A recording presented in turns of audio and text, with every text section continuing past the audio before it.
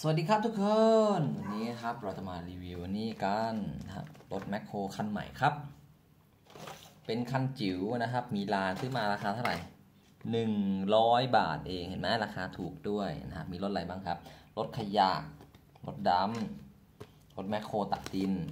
แล้วก็รถขนน้ำมันนะครับอะเรามาดูกันเลยดีกว่านะครับอืมอันแรกออกมาเลยจากถุงออกมาให้หมดเลย อ่านี่นะครับคันแรกคือ อันนี้เป็นรถดำนะครับมีร้านด้วยอ่าเดี๋ยวจะไถไถให้ดูนะครับไถอย่างนี้อุ้ยโอ้ไงรถขนน้ำมันอ๋อ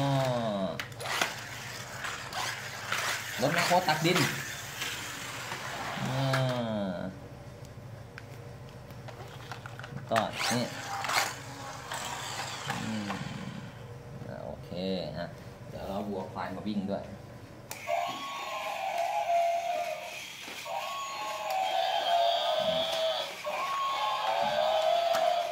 โอเคสำหรับวันนี้ก็